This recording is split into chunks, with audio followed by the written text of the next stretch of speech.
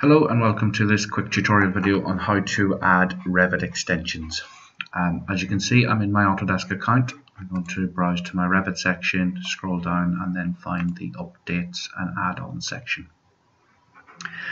In here you can use the filters to filter by version. So if I click 2018, click apply, it will then filter the updates that are available. I can scroll down and then I can simply add the Revit extensions so I click browser download and that will start the download but I've already pre-done that and I've got the executable already sitting on my desktop so I'm going to select it and I'm going to click the open button.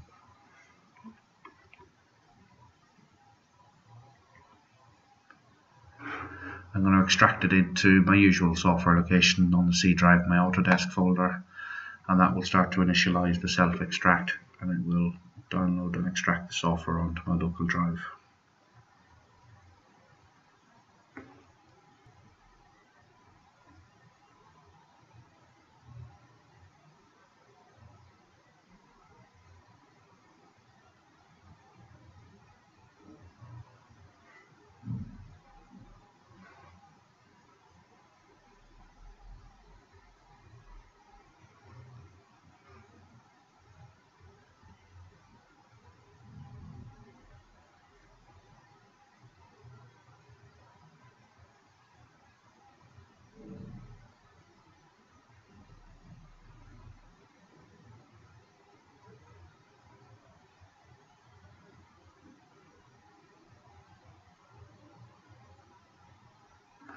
So now that the file is extracted, I'm going to allow the application to make changes to my device. So I click yes, and now it will begin the installation process.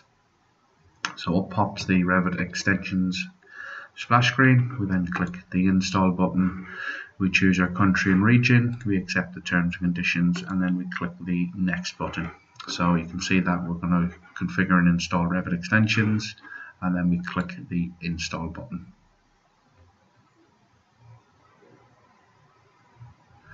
And now we have successfully installed the product. We click the finish button.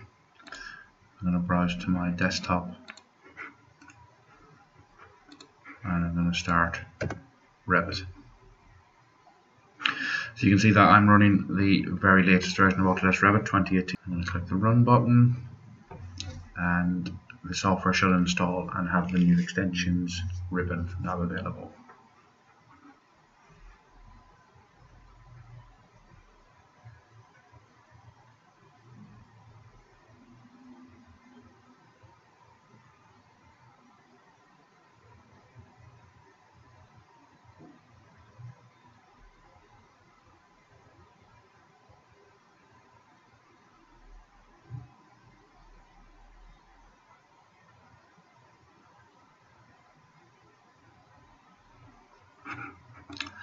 So if I just start open any particular template, I'm going to start with the structural template and the new add-on should now be available. So let's open this template file.